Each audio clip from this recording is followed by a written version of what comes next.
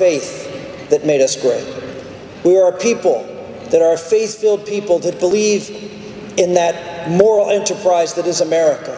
And so today I announced a faith, freedom, and family agenda